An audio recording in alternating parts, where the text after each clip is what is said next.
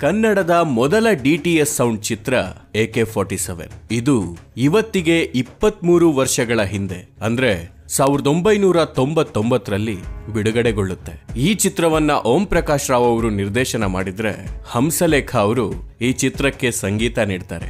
A K forty seven doctor Shivaraj Kumar ಅವರ ನಟನೆಯ ಐವತ್ತನೇ ಚಿತ್ರ. ಇವಾಗ್ಲೂ ಫಿಲ್ಮ್ ನೋಡಿದಾಗ ಇಟ್ ವಿಲ್ ಲುಕ್ ಆಸ್ ಇವಾಗಿನ ಜನರೇಷನ್ ಸಿನಿಮಾ ಅಂತ ಅನ್ಸುತ್ತೆ. ಮೊದಲ ವಾರದಲ್ಲೇ ಎರಡು ಕೋಟಿ ಮೊತ್ತ ಗಳಿಸಿದ ಕನ್ನಡದ ಮೊದಲ ಚಿತ್ರ.